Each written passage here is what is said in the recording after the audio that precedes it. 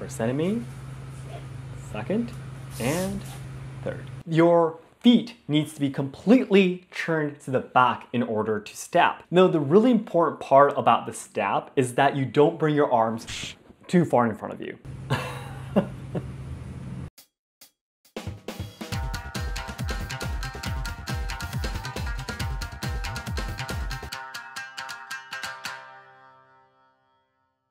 Then the seventh kata, Sampogiri.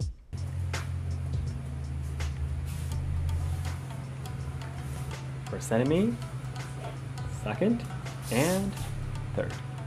Ah, the swing is much better than the sixth one. Mhm.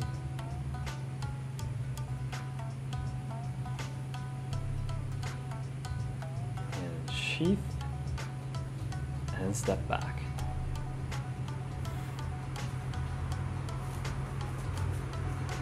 Now you should really focus on the enemy that's in the front. You have three enemies on two of your sides and one in the front, but the front enemy is the strongest, so you should keep your eyes on him as he attacks the two other enemies. Just like the sixth kata, you do do another Nukitsuke towards your enemies, but this is a little bit different from the Nukitsuke that you did with the sixth kata. This time the tsuba is not at your mouth height, but it needs to be as high as your eyes. So it needs to be really, really high. But if you can see, I think that my Nukitsuke is definitely not high enough. I think it's stopping around my mouth. So it absolutely should be much higher. That's one bad point. Because unlike the sixth kata where you're aiming from the cheek down to the chin, the seventh kata you're aiming from above the head actually to cut the enemy's face. And the third, the last cut too, is rather okay compared to the 6 kata that I did, but still you can see that it's not completely straight right. Yeah, it's kind of moving a, moving a little bit to the side. You can see that's, that's probably the unbalancedness of my two hands. It's either I'm putting too much power into my right hand or my power on my left hand is not enough. And for the Jodan no Kamae, this position. It's really hard to tell just from this video, but again, the same as the Hasso no Kamae as we did with the fifth kata, it needs to be a 45 degrees angle. Basically, the difference between a Jodan and a Hasso is just the position of the sword, if you have it here or if you have it higher. So it needs to be exactly the same. The angle of the blade needs to be exactly the same. Then the eighth kata, Gammen Ate. Hit. Mm, okay. Mmm, that doesn't look so good.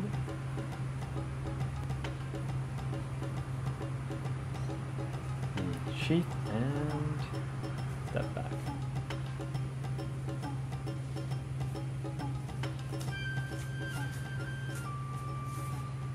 For the Gammen Ate, it's really close to the Tsuka Ate right, but where you're aiming for is completely different. For the Gammen Ate, you're actually aiming right between the eyes of the enemy here. So it needs to be actually pretty high. For that though, taking a look at the position where I hit, if you can see the height of my face and the height of the tip of the angle, if you align it, I think it would be really close to this position. So I think that position is good. And the second thing you need to really look out for is when you turn around to stab. Your feet needs to be completely turned to the back in order to step. But I think because it's something that you really often talk about when you do this 8th kata, I'm doing rather okay. It could be twisted even more towards the enemy behind me, but uh, it has been worse before, so I can see some improvement there. And after you stab the enemy behind you, the next thing that I'm most concerned about, which has not been well improved, is me swinging the katana down. So after you stab with one hand, you turn around to grab your sword to swing down, right? It's really important that when you stab, turn around, and you bring your left hand to your handle, you don't come from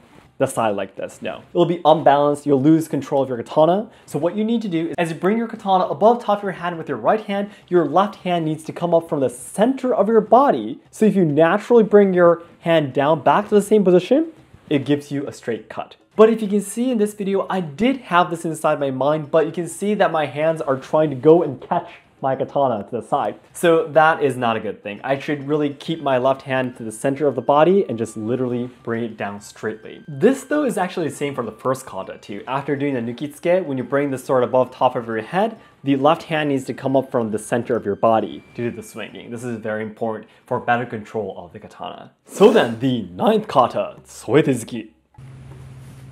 Alright, let's take a look at it. Hmm, okay.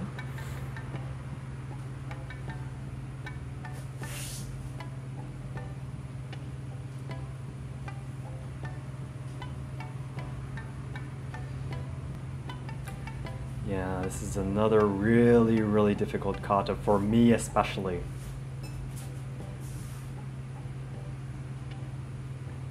I think that the first thing that caught my eyes was my swing is a little bit low. You can see that the tip is a little bit lower than my hand. This needs to be parallel or actually a little bit higher might even be better. Lower, absolutely not good because you're attacking the person standing next to you, right? It's impossible for you to swing that low. Now, the really important part about the stab is that you don't bring your arms too far in front of you. It's not about bringing your hands to the front my sensei has taught me that's more about closing this area, this arm area. So when you're about to stab, you close this area and then your hands don't go too much to the front and you'll lose control. You should keep your fist around the front of your belly button. However, for me, this is really, really difficult because I always say this often when I talk about katanas and martial arts, but I have really, really long arms. Whenever I buy kimono, for example, I always have extended cloth on the end of my sleeves to make them longer because I have really, really long arms. So when I try to do it exactly as how the textbook says, my hands feel really, really uncomfortable keeping my hands in front of the belly button and such. So I try to make it look as natural as possible, but my hands do go a little bit more forward than my belly button. This is a really, really difficult part that, about the 12 standard kata. And the chiburi, the height is completely different from all the other chiburi. And you can see this is the same as the fifth kata. You grab onto the entrance of the sheath immediately. So next is the 10th kata. Now this is a very difficult one too. Hit. Stab the enemy in front. And swing. And one last swing. Ah. You can see that all of my swings, the tip is lower than my handle. It's not parallel to the ground. This was a really, really hot September day, and I was starting to sweat like crazy around this time. It's like 35 degrees Celsius or something. Uh, completely have lost my concentration probably. I'm doing terrible. But one really important thing for this 10th kata is that is because you're standing up, you shouldn't, when you stab the enemy behind you, you shouldn't look down. If you look down, that's incorrect. You need to be keeping your face up. This is very difficult to do because all of the other kata, you don't have to focus on that so much. But for the 10th kata, because you have to, to face all four directions, you need to really focus on where your eyes are, where your head, head is. Because if you're not, if you're looking here, you're not looking at your enemy, right? So I did try to focus on that as much as possible, and you can see my eyesights are um, about the height of my own eyesight, looking straight forward. So I think that's a good thing. And again, after the stabbing, when I turn around to swing, it's the same thing. I need to bring my hand from the center of my body to bring the katana down, but you can see that my hands are coming from the side, which is not good. And for almost all of the swings I do in this 10th kata, the tip of my blade is all lower than my handle, so that's not a really good sign either. This is like a B minus, I think. And for the 10th kata, it's really, really important to imagine that you have like a X mark in front of you, and then you're that you're attacking the right position constantly. But for me, I think you can see that from my starting position, probably my third cut, the cut that I did to the right, and also the one that I did towards my last enemy, I think the position is way too much to the side, too close to the camera, I think. So if I was doing this in person, it's really hard to tell from the camera because all the angles and such, but if I was seeing myself in person, I probably would have definitely have to fix that as well. I think the first X from my beginning position, I think I have not actually correctly attacked the enemy. The next up is the 11th kata.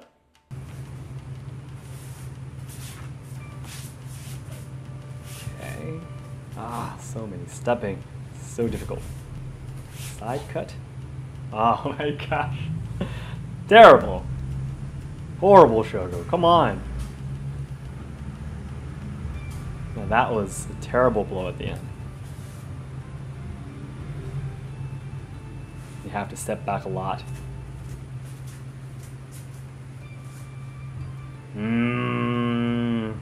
You're actually trying to do five cuts in total. So you first aim for the face, next down to the suigetsu, which is around the middle of the body, around just a little bit higher than the stomach, and then down to the waist, the third cut. And then you cut completely sideways, suiheigiri, and then you do one straight cut, makko at the very end. But what's really important for each cut is that once you attack, you need to aim perfectly towards the face first, and then the stomach, and then down to the waist every time. But it's really important that after you swing, you come back the same path to bring the katana up. You cut, you come back the same path, and you cut. You come back the same path, and you cut. I did try to focus on that. You can see that the tip of my katana is going back the same line that it drew when it cut. So that is a good thing. But I'm pretty sure, I can't see myself behind me, but I'm pretty sure the tip is lower than my handle every time when I bring the katana up. And also another thing that concerned me is when I position my katana here to the side to do the suiheigiri, you can see that the tip is very, very lower, much lower than my handle when I bring my hand here. So I really need to keep these sword parallel to the ground when I position my katana here too. And the final cut is the worst one. You can easily see that when I swing the katana down, I'm bringing my body up. It's because that the most difficult part about the sogiri is actually your footwork. You need to press with the leg behind you, so that would be your left leg. You need to press with the left leg press with left leg. You don't step forward with your right. It's more of pressing with your left leg. And again, always, for all of these kata, you need to keep the same body height. But because you have to step forward, step forward, step forward so much to the front, towards the end, it gets more and more difficult. Because if you miss your distance between the two feet, it gets more and more uncomfortable at the end. And that's the reason why I tend to do this. I go like that and go up, you know, trying to maintain balance. But no, Again, lower, lower, keep my body as low as possible, keeping the same height every time. Keeping the same height every time is really important. That's definitely something I need to look out for. And finally, the 12 kata.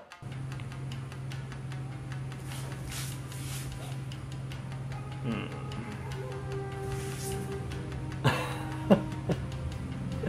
what the heck am I doing? That was terrible. You see, I'm definitely losing concentration towards the end of these katas.